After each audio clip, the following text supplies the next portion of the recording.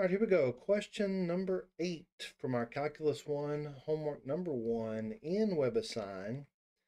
It says for the function f whose graph is shown, state the following. If the limit is infinite, enter either positive infinity or negative infinity as appropriate. If the limit does not otherwise exist, we're going to enter DNE for does not exist. So just to point out, first of all, before we answer any of these questions, if a limit goes to infinity or negative infinity, technically it does not exist. But since they specify that they want to enter the infinity symbol if it does go to infinity, then we're going to follow the instructions. All right, part A, it says the limit of this function as x approaches negative 7. And so if we go to where negative 7 is on the graph, we can see that on the left and the right hand side of 7, the graph tends to negative infinity. So we're going to click in the box and we're going to input negative infinity. Now I think INF should satisfy the infinity.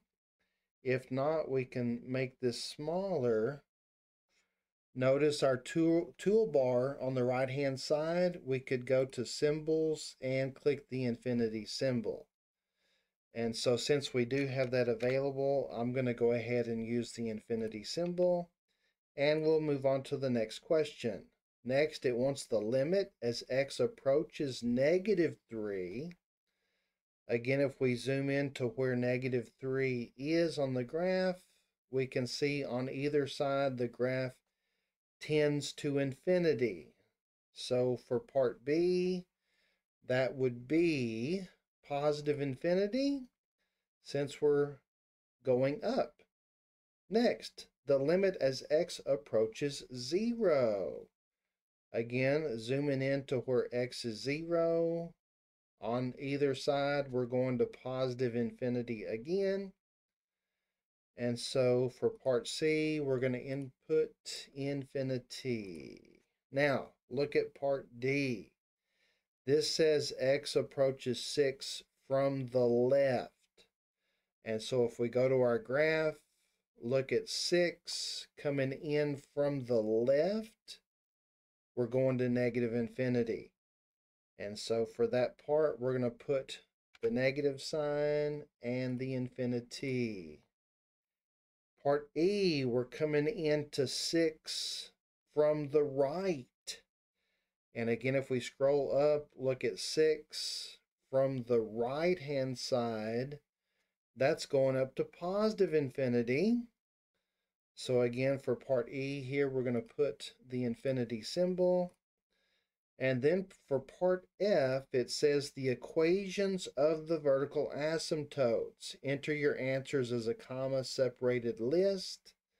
And since they already put the x equal, we don't have to put the x equal. We just need to put the numbers where the vertical asymptotes exist. All right, so here we have a vertical asymptote at negative 7, negative 3, 0, and 6.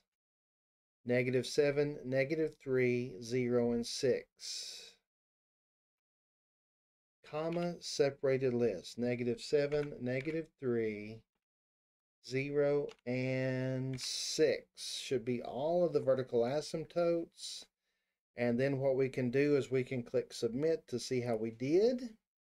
And for this problem, scrolling through our responses, we can see that everything is correct. And so that's going to do it for this particular problem. If you have any questions or comments about anything covered in this video, please feel free to leave those in the comment section below, or you can text me. And thanks for watching.